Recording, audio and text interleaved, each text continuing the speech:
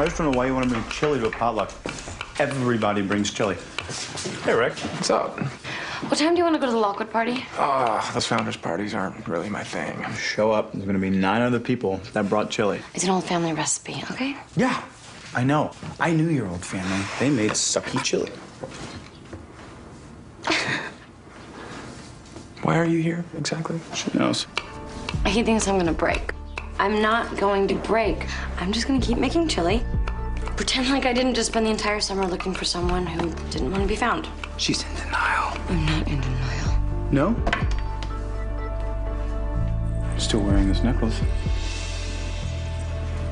Isn't this a reminder of your unbreakable bond with Stefan?